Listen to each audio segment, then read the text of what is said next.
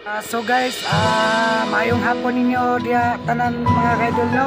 Labi na diri sa TikTok mga kaidol. Um, dako kayong blessing niya sa akong kinabuhi mga kaidol kay sa una wag tao ko ibalay mga kaidol payag ra in town. So karon lipay kayo ko kay ana na nagihintay ni sponsor na ko nga bisag dili kay dako nga balaya pero at least na appreciate jud ko kay na nadyo ko ibalay nga tarong. So akong i-reveal ninyo mga kaidol para inyo sad makuan so karon gyud trabaho pa ni siya mga kaidol so nag nag pa mi diri nga tao sa kuan na ako na pay masa diri so Ay, sing video-video na magmasa na.